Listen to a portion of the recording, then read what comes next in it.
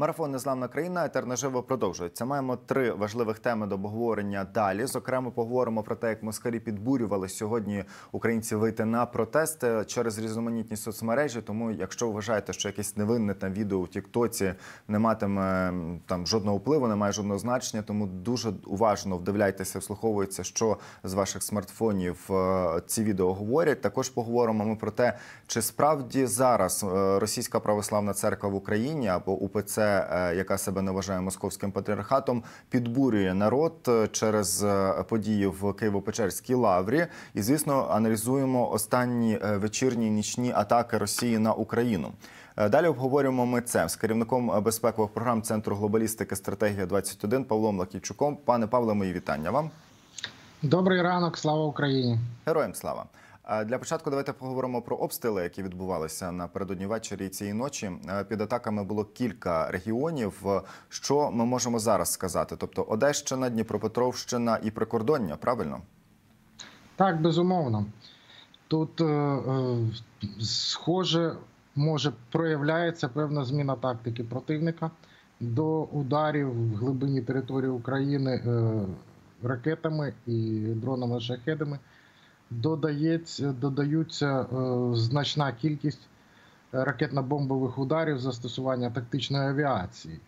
Вона не може проникнути в глиб території України, але от в прикордонній смузі е, активність її значно збільшується. Що може про що це може бути свідчити? Е, Безумовно, очевидним є те, що росіяни е, вважають, що наші сили протиповітряної оборони значною сил, е, мірою відтягну, відтягнуті для захисту міст і критичних об'єктів. І наша передова лінія е, дещо, ну так скажемо, протиповітряна оборона військова е, значно погіршилась через це, і це надає їм можливість застосовувати ну, з, з, з певної дистанції. Вони з хорошої висоти, якщо здійснюють обстріли, то на е, декілька кілометрів е, далі е, бомби і керовані бомби сягають. І це стосується не тільки сходу, де гаряче завжди, але противник там значно ширше почав застосовувати авіаційний компонент, особливо Су, Су 35 Су 34 в районі Авдіївки фіксувались скидання важких е, фабів на наші війська Су 35 Е, Сьогодні додайте е, ну, вже не тільки сьогодні, вже можна вважати майже регулярною пуски ракет Су-35 з акваторії Чорного моря по Одесі. Е, Додаємо певною мірою е, Запоріжчину. І, ну, можна сказати, новинка така прикра. Це обстріли, е, це бомбардування е, північних наших кордонів, комбіновані обстріли з бомбардуванням північних кордонів, зокрема на Сумщині удари, де е, артилері... артилерійський вогонь був комбінований також з нанесенням повітряних ударів. Ну про що це можна говорити?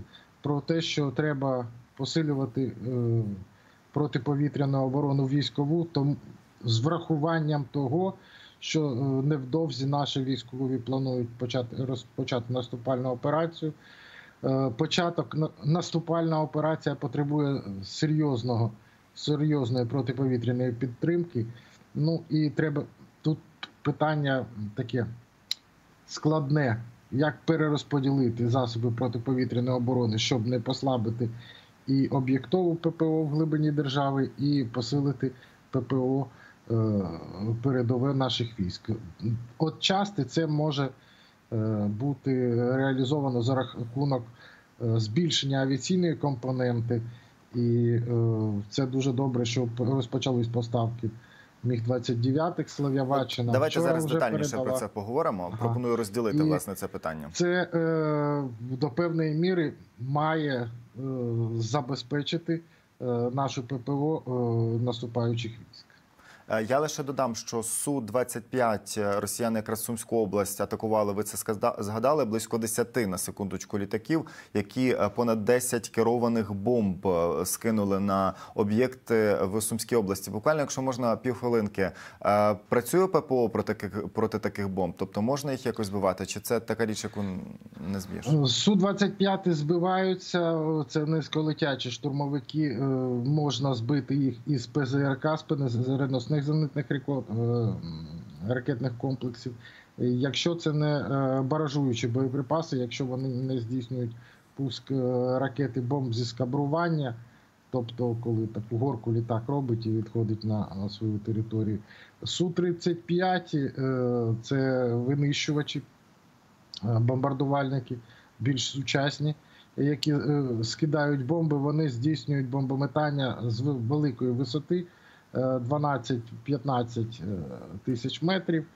Е, Ну і теж тоді горка це дозволяє охопити більший радіус. І на такій висоті, на такій відстані е, знищити противника можна тільки е, зенітно-ракетним комплексом середньої чи дальнього радіусу дії, там від Бука до С-300. На жаль, е, таких комплексів значно менше на передовій лінії. Я зрозумів. І ще одне поточнення. Е, За словами Юрія Ігната, речника повітряних сил, росіяни також застосовували. Я просто раніше не чув такий вид озброєння. Протилокаційні ракети Х-31. Це що таке?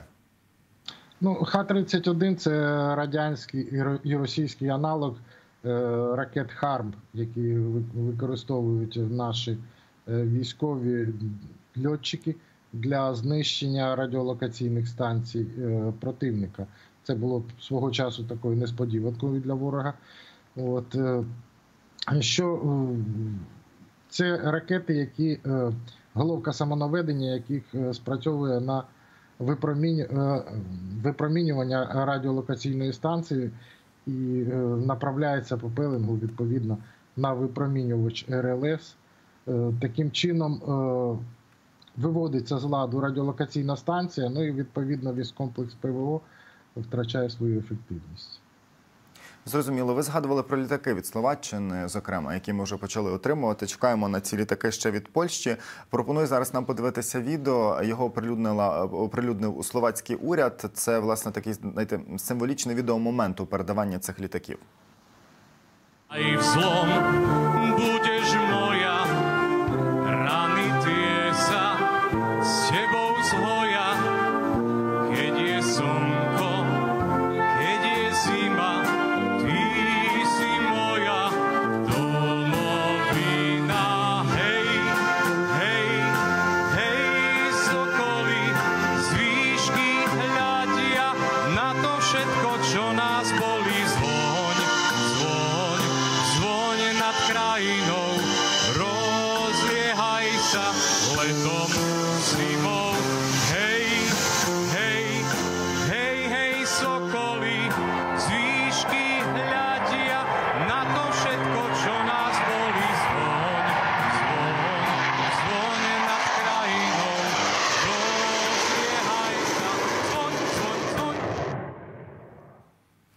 До речі, вперше чув Гей Сокола саме в словацькій версії. А наскільки е, важливим є передача цих літаків? Е, І чи вони, до речі, як комплекси, як протиповітряна оборона теж можуть застосовуватись? Даруйте, може, за такі дуже непрофесійні питання, але цивільним треба, от, нам треба пояснити все на пальцях. Чесно, сюжети аж до мурашок. Приємно дякуємо нашим е, сусідам, нашим братам, словакам. Ну і мелодія до слова. Я можливо, це словацькою, можливо, польською, я не знаю. Словацькою, Але польською. що обрана така мелодія, така пісня, це ну, до певної міри натяк нашим польським сусідам, що хлопці, давайте прискорюватись. Я сподіваюся, вони почули це. Е, Міг 29 це е, один із основних наших винищувачів, власне кажучи. У нас є в- великі важкі е, Су-27 і маленькі е, тактичні винищувачі Міг-29. Е, це літаки третього покоління. Це е, літаки, які знають наші льотчики. І ну, я так розумію, на цих літаках зі Словаччини злітали вже українські пілоти, які прямували до своїх полків, до своїх підрозділів. Е, Су-29, е, відставити, Міг-29 використовується і це фронтовий бомбардувальник. Він використовується як засіб ППО, може уражати і літаки противника, і крилаті ракети противника, і інші повітряні цілі, як е, об'єктова протиповітряна оборона, так і для знищення е, літаків противника на полі бою і в глибині його е, території. Це дуже добре, що ми маємо вже от декілька одиниць міг 29-х. і сподіваюся, що з найближчими тижнями і протягом місяця їх кількість збільшиться на е, порядка на два десятка. Це було б дуже добре, Е, тому що, повторюсь, е, треба, потреба в літаках дуже велика, враховуючи втрати і експлуатацію постійну над над е, інтенсивну експлуатацію наших літаків, що потребує їх технічного обслуговування постійного, е, що збільшує, зменшує льотний ресурс. І е, два десятки літаків це, це супер. І тут і полякам, і словакам велика подяка. Навіть якщо частина з них буде передана в стані, який потребуватиме додаткового технічного обслуговування і ну, додаткового ремонту, ми маємо відповідні потужності, і літаки будуть досить швидко введені в бойовий склад. Це не ті е, літаки західного зразка, яких у нас немає там сил для обслуговування, для ремонту. Це більш складна процедура. А ці літаки от можна відразу, як сказати, е, з, з, з аеродрому і в бій. Зрозуміло, нема чого крутити носом, як роблять деякі диванні експерти. Все добре і все помічне. Е, йдемо далі. Ще хочу поговорити з вами про дуже небезпечні кампанії, які зараз розвиваються. Зокрема, е, прекрасна ініціатива з інформаційної гігієни, як не стати овочем, дослідила, що е, в соцмережах, в Тіктоках, е, в знаєте, мережах для молоді саме провели росіяни масовну кампанію з закликом 24 березня, тобто сьогодні виходити на вулиці, ставити запитання владі, там мобілізація е, і все інше. Е, Наскільки небезпечними є такі процеси, але я зразу додам, що українці не розгубилися і почали у відповідь свої відео записувати і окреслили траєкторію руху для авторів цієї кампанії приблизно за російським кораблем. Е, треба розуміти, що противник має дуже потужну і таку історично тяглову систему інформаційно-психологічних операцій. Це і органи е, відповідні ІПСО е, військової розвідки, е, ГРУ, і, власне кажучи, їх центрів грушних цілий, ціла низка існує. От, і які працюють дуже активно. Це і засоби ІПСО, ФСБ. Ну і додайте всяких кремлівських ольгінських тролів, які фінансуються Пригожиними, Малафеями та іншими. Всі ці органи діють за єдиним задумом, реалізуючи певні операції. Тобто, якщо вони проводять якусь кампанію в Україні, це не просто так для того, щоб тимчасово дестабілізувати обстановку.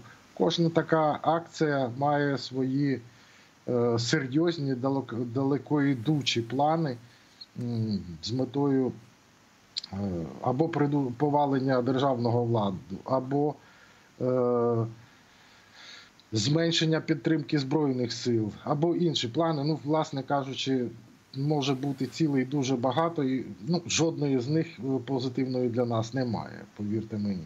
І тут, коли е, українці гуртуються, кажуть, в війні зараз війна, ми всі гуртом спочатку б'ємо москалів, а потім будемо розбиратися. Це правильний підхід. Е, Інша ситуація, як на мене, тривожна довкола Києво-Печерської лаври, а точніше, навіть не довкола лаври самої, а довкола Російської православної церкви в Україні. Е, Синод, так званий їхній, е, збирався, сказав, що він що не будуть вступатися вони з Києво-Печерської лаври. А е, добре відомий усім настоятель, так званий Павло Лаври, записав відеозвернення. Згадав, до речі, там журналістів. як на мене, можна розцінити це як погрозу. каже, що наше життя тане як там воск на вогні і все інше. Ну таке. Давайте послухаємо частинку цього звернення і будемо аналізувати. Мне кажется, что деяние апокалипсиса и явление всего того, что написано в книге, началось с Киево-Печерской лавры. Сегодня мы обращаемся к нашему народу, потому что многие нас обвиняют, что мы вроде бы сдаем обитель без боя. Придите, посмотрите. Это ваш долг защищать свои святыни вместе с нами. Я вас всех призываю к молитве. Приходите на территорию Лавры. Будете видеть, что делают безбожные веления мучителей. Но мы не должны уподобляться горе-политикам. Вы ведете войну не, не со мной, не с митрополитом Антонием, не с блаженнейшим. Вы ведете войну с Богом. Мы люди маленькие, и придет время, скажет история свою. Я ще додам, що він сказав, що не гарантує безпеки тим, хто прийде в Києво-Печерську лавру. Чи можна це розцінювати як заклик до якихось певних активних дій? Дивно, що і архієрей е, церкви, яка е, називає себе українською, е, розмовляє, записує звернення російською мовою. Ну, пане Павло, це важко назвати Цікаво. російською, даруйте все-таки. Так, і е, ну, я е, ще раз, я е, людина військова, я можу військовий аспект, я не можу в релігійні Звісно. вникати. Але всім відомо, власне кажучи, що з 60-х, 70-х років минулого століття вся верхівка Російської православної церкви е, або працює під дахом Федеральної служби безпеки, або е, є взагалі її агентами. Це стосується і українських так званих е, української філії цієї російської православної церкви. У нас війна дев'ятий рік з Росією, а її осередки легально функціонують на нашій території. Ну, це, це нонсенс, чесно кажучи, і в жодній державі світу такого не могло бути, ну, окрім тільки України, де люди дуже толерантні е, до людей в мантіях, незважаючи на їх е, підривну діяльність, е, так скажемо. Я думаю, що це добре, що не тільки Міністерство культури, міністр... е, релігі... комітет з релігій е, зайнялися цією організацією, а й е, спецслужби, Служба безпеки України, відповідні органи внутрішніх справ. І сподіваюсь, не просто будуть ем, звільнені, орендовані, так скажемо, ще тут шлях, як вони були орендовані, приміщення культурних споруд в Україні Російською православною церквою, а й е, будуть е, здійснені заходи щодо конкретних е, шпигунів, конкретних агентів впливу, е, які е, прикриваються рясою. Дякую вам дуже за відповіді. Е, Павло Лакійчук з нами був на зв'язку, керівник безпекових програм Центру глобалістики Стратегія 21 Отож, е, заклики виходити на майдан сьогодні, ставити запитання владі, хто за цим